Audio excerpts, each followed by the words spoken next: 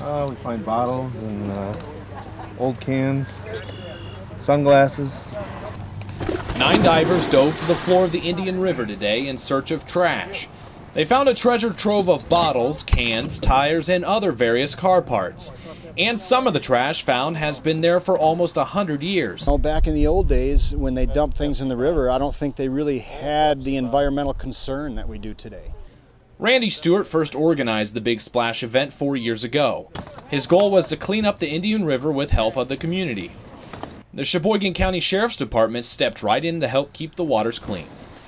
Uh, you know, people just don't realize, you know, the water we have in this state and how lucky we are. And it's so important to make sure that they carry a garbage bag with them and they, they just keep the garbage on their boats and don't let it go in the water. Today's dive only cleaned up a small portion of the river.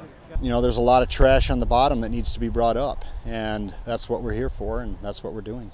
Trash or treasure, the items on this boat will be heading to a better place than the river. Cleaning up the Indian River, Nathan Edwards, 7 and 4 News.